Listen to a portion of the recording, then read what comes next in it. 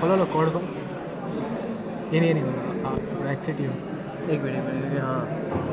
हाँ